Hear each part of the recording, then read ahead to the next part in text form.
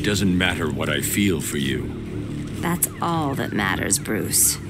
I can't let you stop me. What are you doing, Pamela? Looking for a hot date. With the Gotham City Police? Come on, let's go back to hitting each other. Not sure you're ready, Harleen.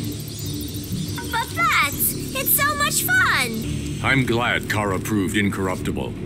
Your interest sounds more than professional. Not at all what I meant. We're not doing this anymore, Joker.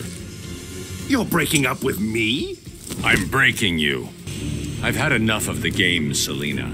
Aren't you the least bit curious? I can't afford to be curious. The bat who loves to fight women. It's the other way around. We can't all be wrong.